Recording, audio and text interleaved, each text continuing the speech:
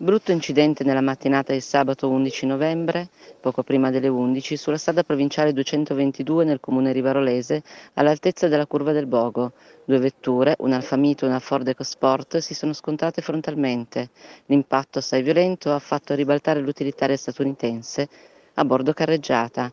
Intervenuti sul posto le ambulanze della Croce Rossa di Castellamonte e di Rivarolo Canavese, i carabinieri di Castellamonte.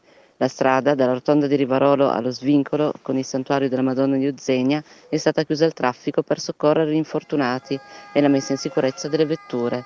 Il bilancio è di tre persone ferite, due uomini e una donna, non in modo grave, che verranno trasportati in ospedale per accertamenti.